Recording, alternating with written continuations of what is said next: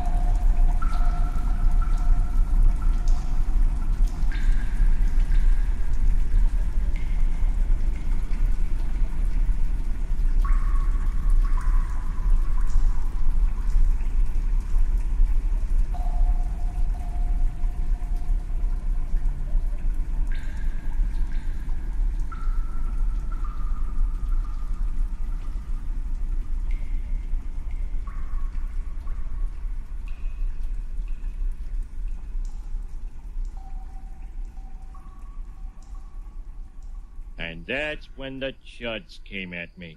Oh, Homer, of course you'll have a bad impression of New York if you only focus on the pimps and the chuds.